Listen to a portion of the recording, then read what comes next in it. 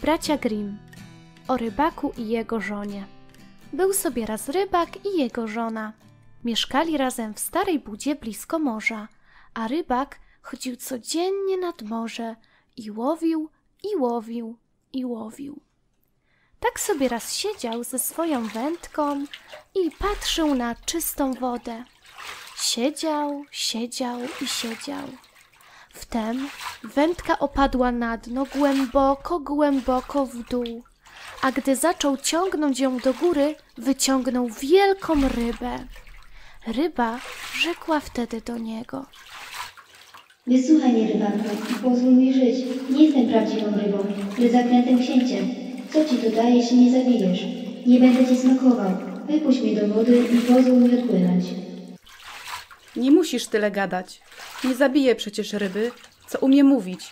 Wypuszczę cię i płyń sobie gdzie chcesz. Wpuścił ją więc do jasnej wody, a ryba popłynęła na samo dno, zostawiając za sobą długą smugę krwi. Rybak zaś wstał i poszedł do swojej baby, która czekała w ich starej budzie. Mężu, złapałeś coś dzisiaj? Nie, złapałem tylko rybę, co gadała, że jest zaklętym księciem. No to ją wypuściłem do wody. I nic sobie nie życzyłeś? Nie. Niby co miałem sobie życzyć? Ach, podoba ci się mieszkanie w tej śmierdzącej budzie? Przecie to ochyda. Trzeba było se chałupinki zażyczyć. Idź no i zawołaj rybę, a powiedz jej, że chcemy chałupę. Na pewno to zrobi. Ach, jeszcze raz mam tam iść? Nurze! Złapałeś się, pozwoliłeś odpłynąć? Na pewno to dla ciebie zrobi. Idźże w te pędy. Mąż wcale nie miał ochoty iść, ale nie chciał spierać się z żoną, więc poszedł nad morze. Kiedy był już na miejscu, morze zrobiło się całkiem zielono-żółte i nie było już tak czyste. Stanął więc i zawołał. Rybo, rybo z morskiej toni, niech me słowo cię dogoni. Moja żona nie chce nie, z moją wolą zgodzić się. Moja żona, Izabela, zachciankami mi doskwiera. Wtedy ryba przypłynęła i zapytała. No a czegoż ona chce? Złapałem cię, a moja żona teraz mówi, że powinienem sobie coś za to życzyć. Nie chce już mieszkać w tej starej budzie. Chciałaby chałupę. No to wracaj. Już ją mam. Więc rybak wrócił, a jego żona nie siedziała już w starej budzie, lecz stała tam mała chatka, a przed nią siedziała żona na ławce. Wzięła męża za rękę i powiedziała do niego. Wejdź i zobacz, że tak jest o wiele lepiej. Weszli więc. W chatce była mała sień i malutka śliczna izdebka i komora, gdzie każde miało swoje łóżko i kuchnia i jadalnia. Była też komóreczka na przybory, a wszystko pięknie i dobrze urządzone z drobiazgami z cyny i mosiądzu, jak się należy. Za chatką było małe podwórko z kurami i kaczkami i mały ogród z owocami i warzywami. Widzisz? Czy to nie miłe? Tak, niech zostanie. Będzie nam się dobrze żyło. Zobaczymy. powiedziała żona. Potem coś zjedli i poszli do łóżka. I tak działo się przez czternaście dni. Potem żona powiedziała do męża. Słuchaj, mężu, ta chata jest strasznie ciasna, a i podwórko z ogródkiem są małe. Ta ryba mogła dać nam większy dom. Chciałabym mieszkać w wielkim zamku z kamienia. Idź do ryby i powiedz jej, że ma nam dać zamek. Ach, żono, ta chata nam wystarczy. Po co nam zamek? Nurze! Idź do niej. Ryba na pewno może to zrobić. Nie, żono. Ryba dała nam chatkę. Nie mogę do niej iść, bo to by ją rozgniewało. Może to zrobić i zrobi to chętnie. Idź do niej. Rybakowi ciężko zrobiło się na sercu i nie chciał iść. Powiedział do siebie: Źle się dzieje, lecz mimo to poszedł. Gdy doszedł nad morze, woda zrobiła się fioletowa, ciemno-niebieska i szara i gęsta. Nie była już zielono-żółta, lecz wciąż była spokojna. Stanął więc i zawołał. Rybo, rybo z morskiej toni, niech me słowo cię dogoni. Moja żona nie chce nie, z moją wolą zgodzić się. Moja żona, Izabela, zachciankami mi doskwiera. Na pana chce? Ach, chcę mieszkać w wielkim zamku. Idźże do niej, już stoi przed drzwiami. Poszedł więc mąż i myślał sobie, że fajnie by było w domu. Lecz gdy tam doszedł, stał tam wielki pałac z kamienia, a jego żona stała właśnie na schodach i chciała wejść do środka. Wzięła go za rękę i powiedziała. Wejdź no do środka. Wszedł więc, a w zamku była podłoga pokryta marmurami i było tam mnóstwo służby, która otwierała wielkie drzwi. Na ścianach lśniło od pięknych tapet, a w pokojach stały złote krzesła i stoły. Na sufitach kryształowe świeczniki, a we wszystkich izbach i komorach leżały dywany.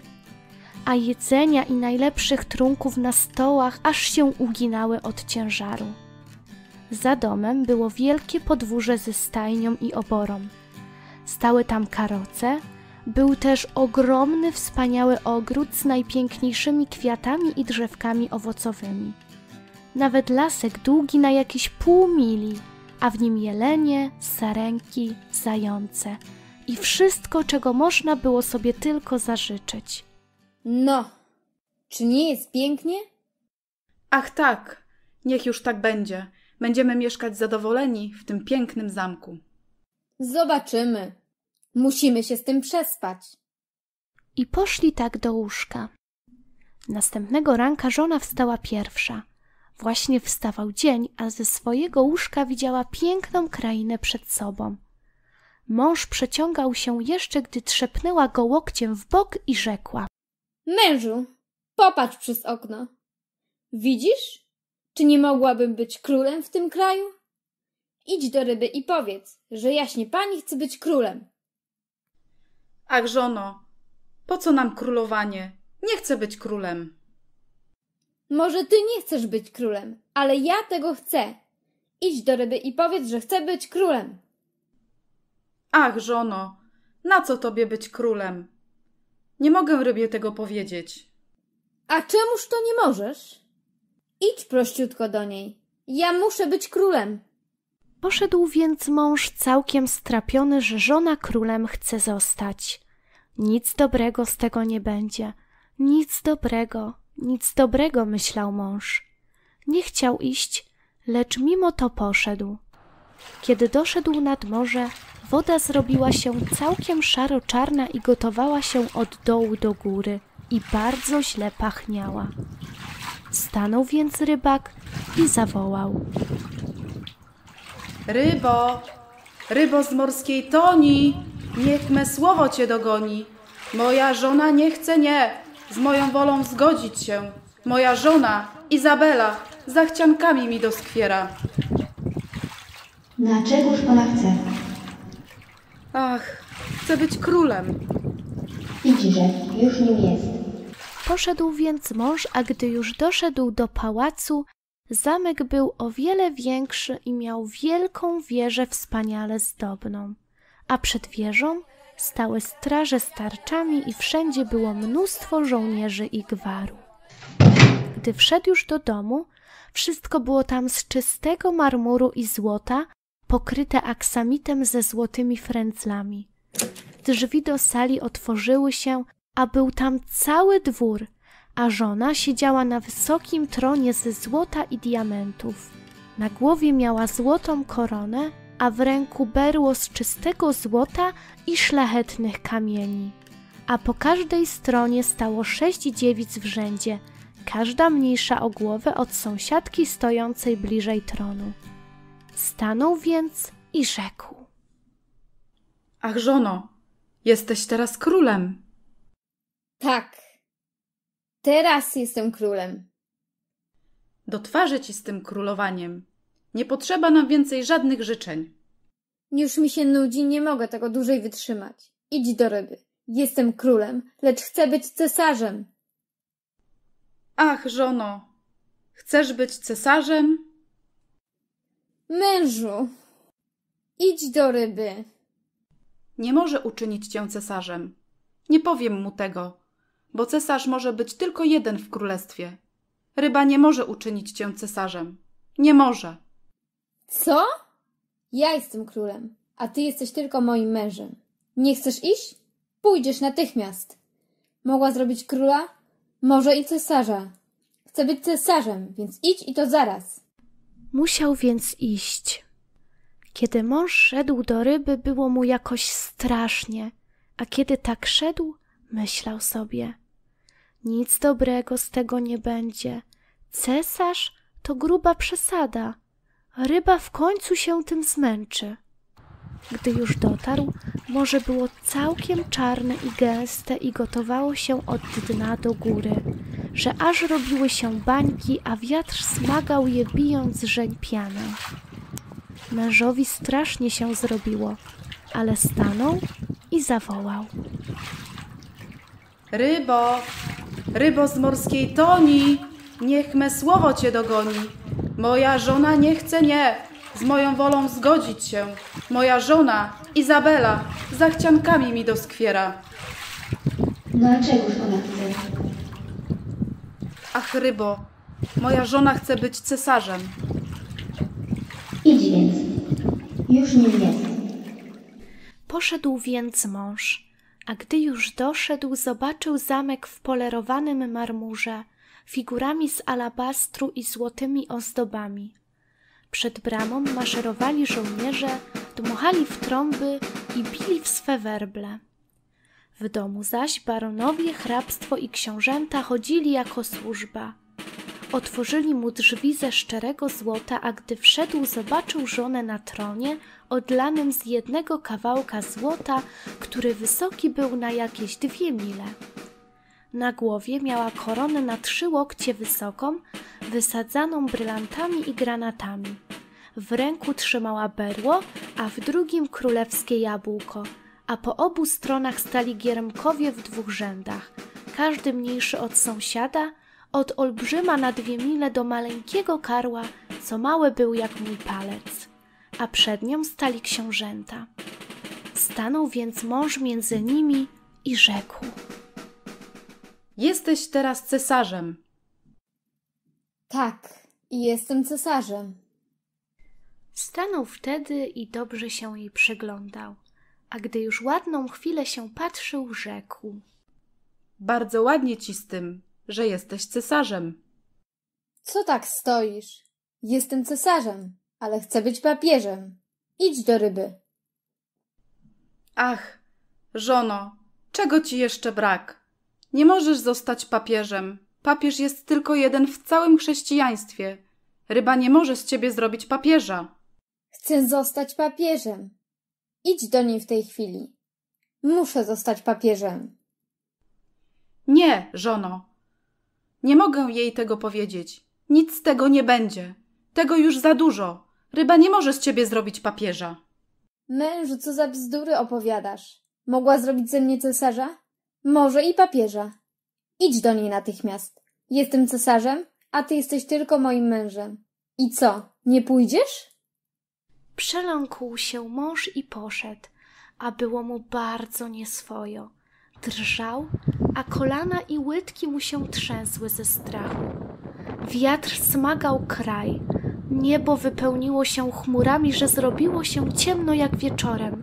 Liście zdmuchiwało z drzew, a woda gotowała się jakby stała na piecu i biła o brzeg, a daleko w morzu statki wystrzeliwały race prosząc o pomoc, tańczyły i skakały na falach.